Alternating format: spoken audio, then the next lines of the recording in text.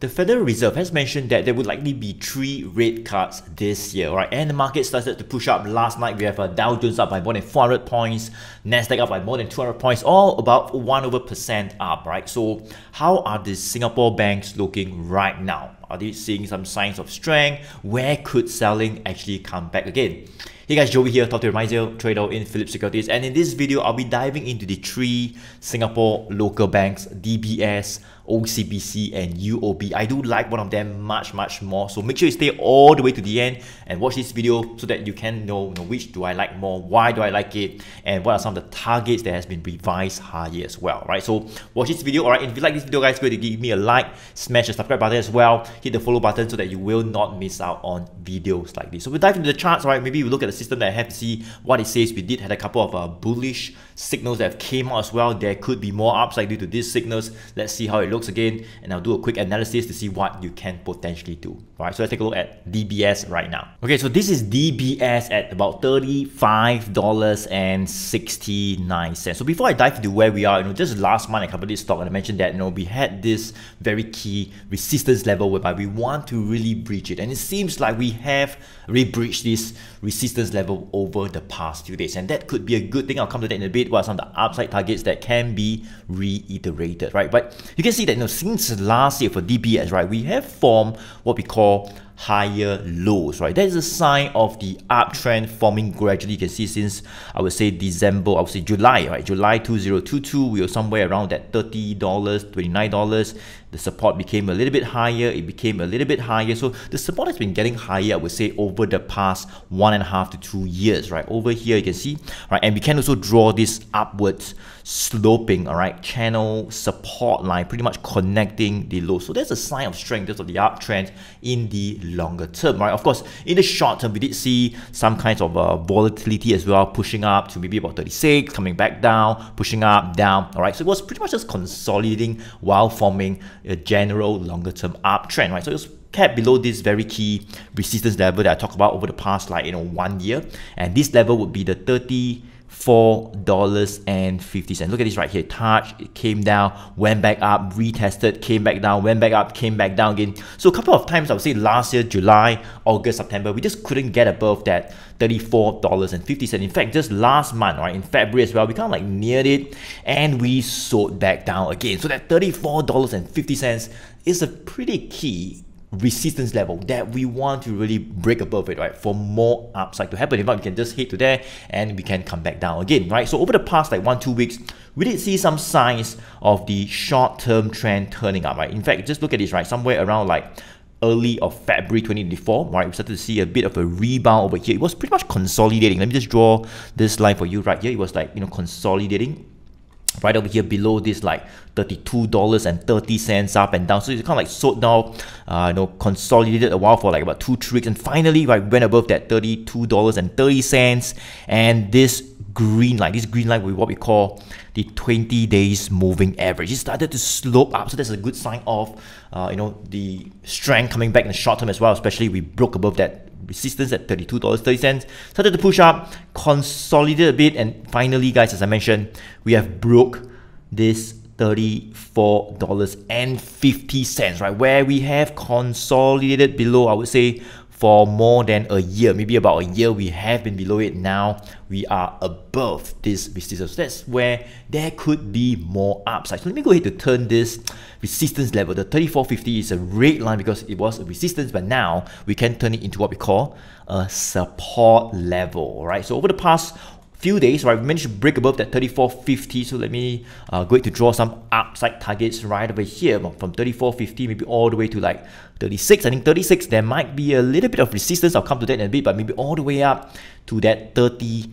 seven dollars right why 37 well you can see guys that 37 dollars was pretty much where we were just about two years back right just before we had the rate hikes and inflationary pressures and the market started to sell down in the US and even the Singapore market. Uh, that was where we were about two years back uh, before selling down. So as we approach that resistance level, uh, that is where potentially some selling can come back. Again, it could be like near 37, it could be 36 and 90 cents, 36 and 80 cents, 70 cents.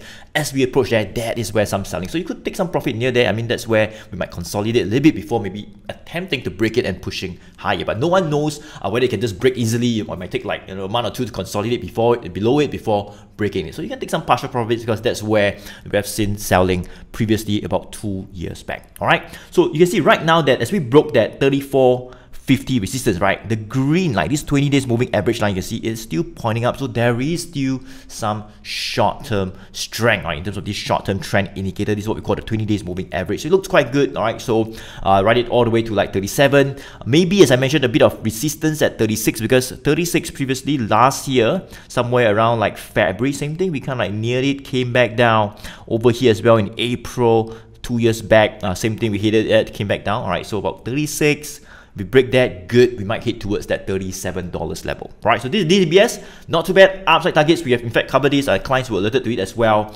Uh, upside targets can be revised all the way up to maybe about 37, 36. Uh, that's where you could lock in some profits. So let's take a look at what DBS looks like on my 1GT system. What is this system about? Well, it is a web-based software that alerts us on winners and also guides us on entry and exit. So if you want to find out a little bit more on this system or the entire strategy behind the system, you can attend one of those free uh, webinars that I'm still running. I'll just place the link below this video. Click on it, register for it. It's about two hours long. It's an online webinar and I'll share with you a little bit more. All right, so here's DBS right here. You can see that we are, uh, same thing as push up a little bit. So I'll not go too far, but this system kind of like comes up with bearish and even bullish signals to guide us. So you can see for DBS, uh, in fact, since like uh, November last year, we, we got a bearish signal. It was like selling down a little bit. It went from like 33 all the way down to like 31 plus. Got an exit and then we got a bullish signal, went back up. Another bearish signal came back down. So you can see that these signals kind of like guide us on when to get out as well. Especially if you see a bearish signal right at the top after rising for a while. All right, you might want to get out as well, right? So you can see that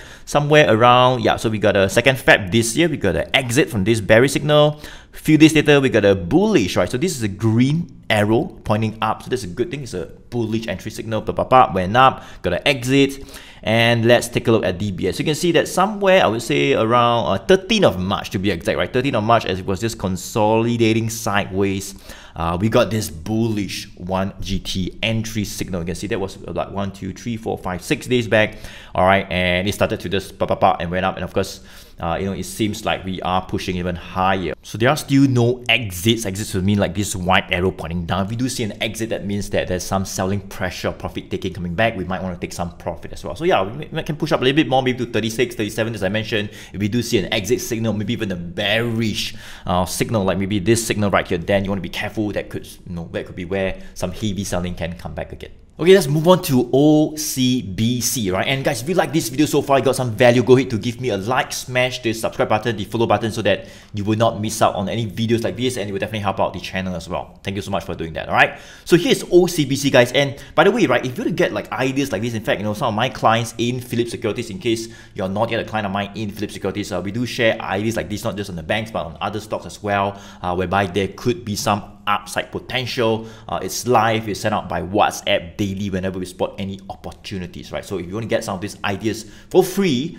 all right, faster, daily by WhatsApp, right? Make sure you come on board as a client of mine in Phillip Securities.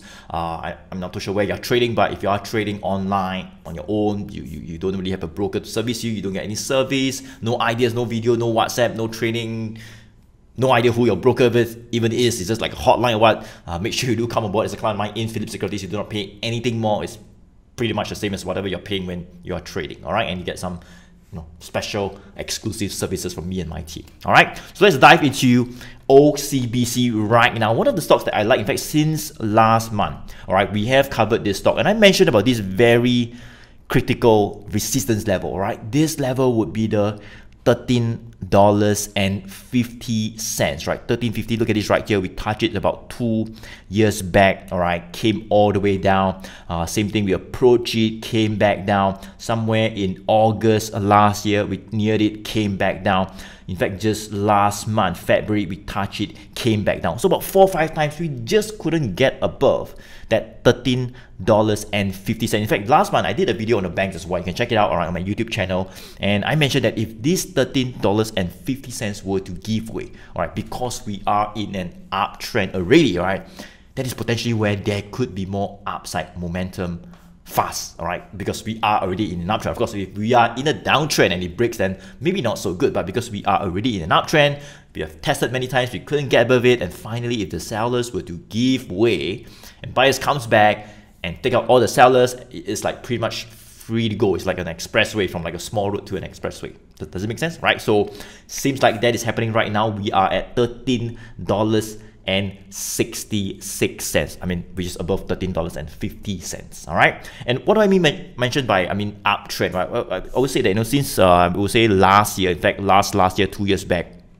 we have been pretty much in a very general longer term uptrend, even better than DBS. In fact, this is one of my, I would say, favorite banks for now. All right, the fact that it has broken above this key level and the uptrend has been forming much, much more firmly over the past one or two years because we have been forming higher lows, right? Same thing, higher lows, right? In this case, it's a bit more pronounced, right? We can draw this upward sloping channel support line right over here. You can see right over here connecting the lows, right? So that was be like about 2021 to 2022 higher lows. Look at this rebound, rebound, rebound right over here.